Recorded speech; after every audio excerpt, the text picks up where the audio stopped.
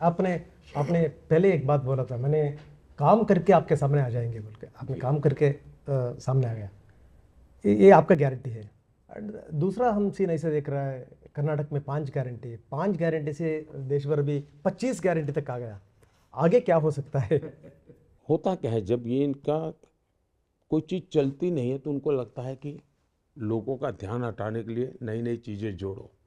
नई नई चीज़ें जोड़ो। और इसलिए वो, आपने देखा होगा हाँ कोई बच्चा अगर आपका ऐनक ले लेता है और आपको लगता है कि बच्चा ऐनक तोड़ देगा, डर लगता है। और तो आप क्या करते हैं?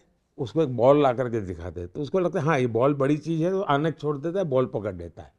ये लोग उस साइकोलॉजी पर काम कर रहे हैं, जिनको पता नहीं है, देश की जनता बहुत ही समझदार है, इनके हर खेल को जानती हैं वो पाँच गारंटी लाए, पच्चीस गारंटी लाए, पचहत्तर गारंटी लाए, वो शब्दों को ऊपर नीचे करे, अनाप शनाप बोले, इससे जनमन नहीं बनता है जी आपको टीवी मीडिया में जगह मिल जाती है, ज़मीन पे नहीं मिलती है, जनों के दिल में नहीं मिलती है।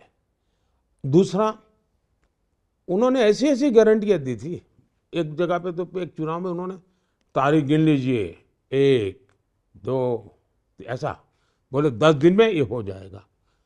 वो पाँच साल वो सरकार रही नहीं हुआ जी तो लोगों को अविश्वास हो जाता है। और दुर्भाग्य तो ये है कि सार्वजनिक जीवन में राजनेताओं की शब्दों की ताकत इतनी खत्म हो चुकी है कि मेरे लोगों को ज़्यादा मेहनत करनी पड़ती है। भाई मैं वो उस, उस बिरादरी का नहीं हूँ बाबा। मैं तो मैं जो कह रहा हूँ करूँगा। तो मुझे तो उनके कारण नुकसान होता है ये झूठ बोलने वालों से। आपने इसके साथ साथ उनका नींद उड़ा दिया है। अभी जो दिया है ये सिर्फ़ ट्रेलर है। पिक्चर अभी बाकी है। क्या क्या रह सकता है पिक्चर ऐसा है कि वो नींद उनको उड़ने का कारण नहीं है। मैं अभी भी मानता हूँ कि इतना बड़ा देश दस साल में मैंने जो किया है उसके कारण मेरा विश्वास बन गया है। लेकिन मेरी जो सोचने का तरीका है मुझे बहुत कुछ करना है। और मैं देश को बताता हूँ, आपको संतोष होगा। आपको मोदी को प्यार करते हैं, आशीर्वाद देते हैं। लेकिन मान लीजिए, मोदी सोने सोने वाला नहीं है, मैं इसको और ऊंचाई पर ले जाऊँगा, और नई चीज़ें करूँगा। और मुझे दुनिया में हिंदुस्तान का जय जयकार करना है जी।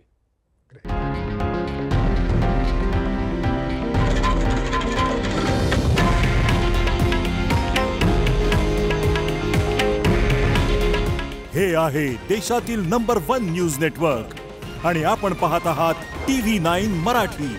काळजी तुमची हित महाराष्ट्राचं.